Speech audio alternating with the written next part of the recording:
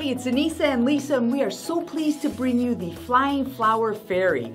You know, so many times all these cool toys that fly are made for young boys. I'm so excited that they finally have one for us young girls. Yeah, I have two brothers, and they always had toys that flew, and I always wanted to play with them, but I never could get my hands on them, so thank God they came out with something that is, you know, for girls. It's a doll, but it flies, and it's so much fun and easy to use. Yeah, you just flip a switch. It takes about three seconds. You'll see some flashing lights, and then it'll start to spin, and then you let go, and it drifts upward. You control it with your hand. Now when it starts coming down, you just place your hand underneath, and it will pop it back up, and the closer your hand is, it will fly higher to the ceiling.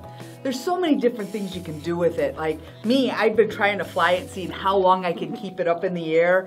And I mean, passing it from one hand to the other, or we were passing it back and forth a little bit. Now I've done my research on these, and there are a couple models out there that actually require six AA batteries. That's a lot, and it could get expensive. Our model has a rechargeable battery, which will last for about 7 to 10 minutes on a full charge. Now, a model like this with a rechargeable battery is going to cost you double this price. We've got a great price. Now, it comes in either blue or pink, but you do not get your choice, but who cares? They're both Yeah. beautiful. So head on over to our site, buy one or buy two, because when you buy more, You save more. so head on over to Pulse TV now.